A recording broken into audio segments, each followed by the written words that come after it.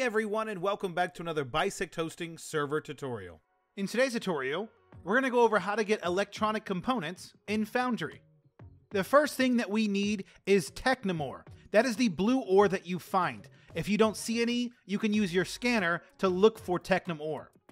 Once you find Technum ore, you can mine it by left clicking and holding with your drill.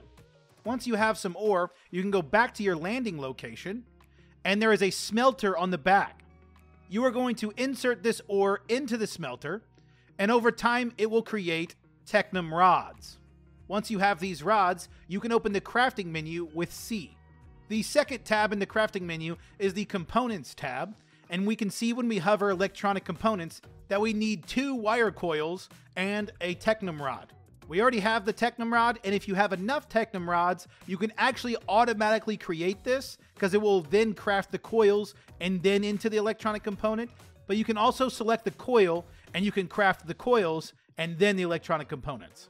After a few seconds, you'll then have electric components in your inventory. If you have any questions, check out our knowledge base, bisecthosting.com slash KB, or you can submit a support ticket on our website. If this guide was helpful, make sure you hit that like button, subscribe for more content like this, comment down below which guide you would like to see next, and we'll see you around.